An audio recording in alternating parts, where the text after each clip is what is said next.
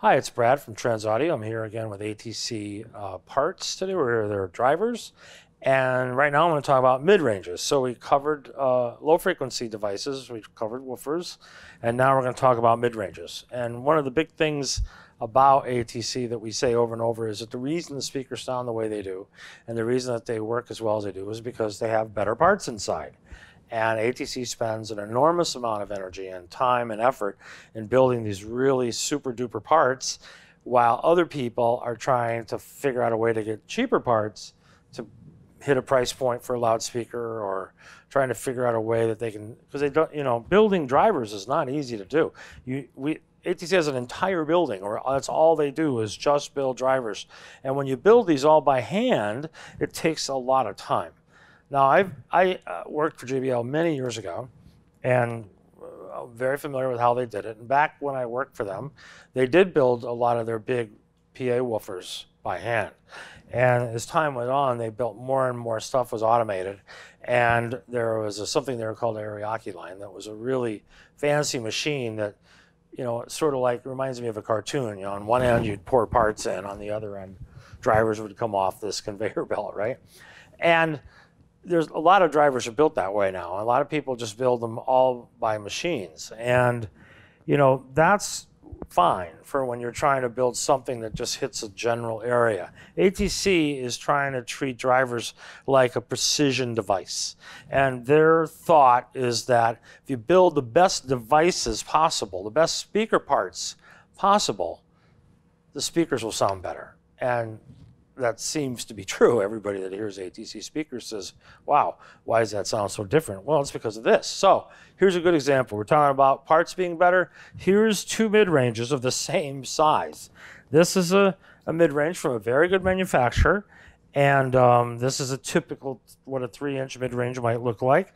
And you see here, I know it doesn't have a dual suspension like the ATC does because it's too shallow, but um, and you can see they're using a neodymium magnet here. That's extra reason why it's small. But it's, um, you know, it's, it's funny. This mid-range is about the same magnet size as our tweeter from ATC. But here's a mid-range, three-inch mid-range. If it was in a cabinet, it would look almost the same as this, right? Looks almost the same. But look at this piece of hardware. I mean, this is crazy. You go through this much work to build this thing.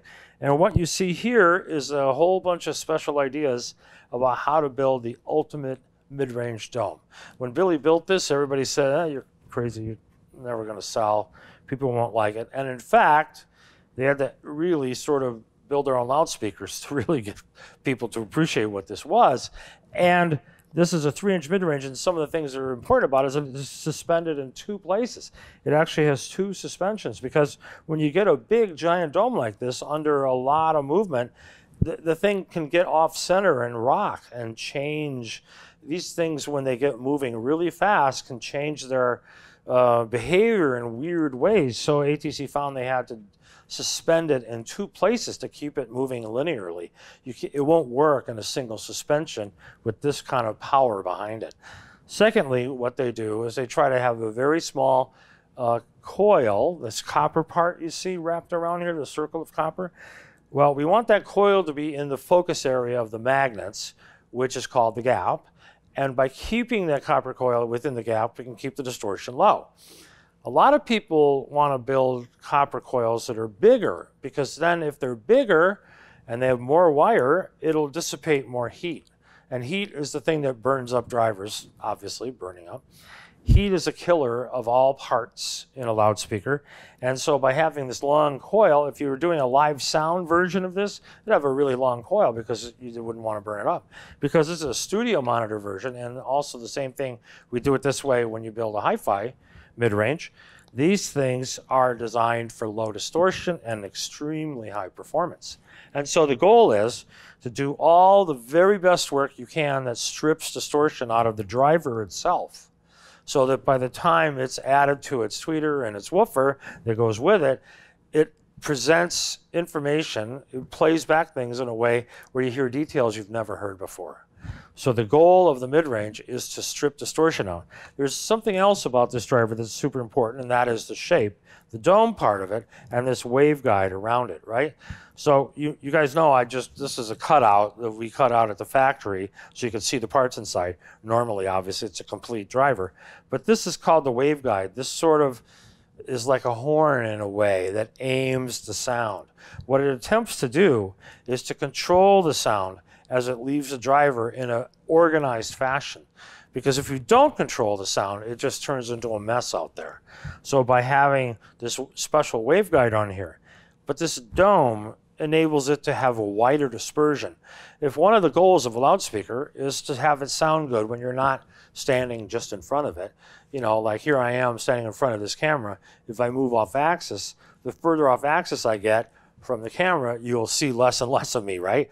Same idea with the speaker. As you get off axis, the speaker, the dispersion is restricted so that you don't hear the same sound as you move off to the side, either side. So what we tried to create here was a speaker that sounded as good on axis as it did off axis. So this big dome is ATC, Billy Woodman's big idea for how mid-range ought to be. And what, I, what we all think is a little bit funny is he developed this back in the 80s. And a uh, long time people thought it would never work. He's friends with all the people in the speaker business. And now everybody's copying it. Now you see people building large domes all the time. So it's kind of funny how, you know, his idea that was way ahead of everybody else's kind of is being adopted now by everybody else trying to figure out how he did it. And we think it's funny, it, you know, nobody's built a driver anywhere close to this significant. When a speaker designer sees this part, they go like, "Oh my God, we could never afford to put that in our loudspeaker because it would cost too much." And that's exactly the point with ATC. That's why they build their own drivers.